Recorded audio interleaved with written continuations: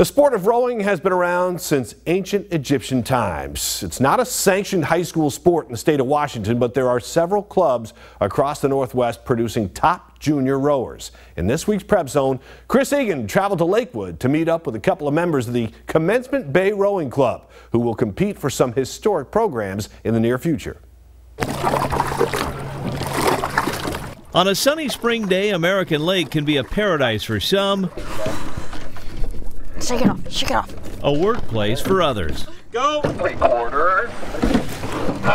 There are some really hard days where I know that me, I wanted to, you know, stop for a while.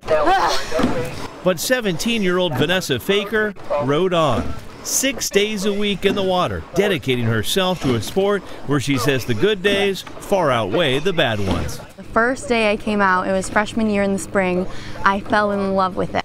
Four years later, the passion is still there for the senior from Washington High. It's really what drives me in all aspects of my life, and it just kind of shaped who I am today. Rowing is just an incredible thing you can do that not for a sport, but it just helps you in all aspects of life. Max Besler, a senior at Bellarmine Prep, had played soccer his entire life, but got involved with crew two years ago.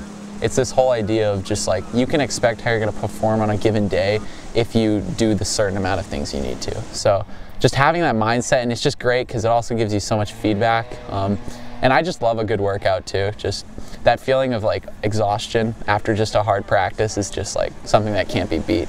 Max and Vanessa are hoping to lead their boats to the Junior National Championships. While they've both excelled in the sport, they also know it takes a total team effort to succeed in crew. Your teammates in your boat are very important, and you all need to be together and motivate each other to do well, or else just one, if there's even one person who's not really feeling it that day, that whole boat's gonna know. They need to learn to coordinate and work together in order to um, uh, achieve boat goals, team goals, um, uh, to, to, take it, to take it to the next level. At the end of the day, the boat only goes as fast as the slowest kid. And so it's really on the job of everybody to bring up whoever might be a, the slowest person. Next year, Max will row for Dartmouth while Vanessa is headed to the University of Washington. UW was my dream even before I knew about rowing. When I sat down in the office with the coach and she offered me to verbally commit, I was just like, are you kidding? Of course I'll verbally commit right now. And she was like, oh wow, you're the first one who said it that fast. I was like, well, yes, of course. Great feeling to have them continue it on um, at the uh, college level, uh, which is not easy. And um, you know they've learned uh, some things here uh, in high school, uh, but they've got they've got a long road ahead of them of learning more. And it's great to have them continue on.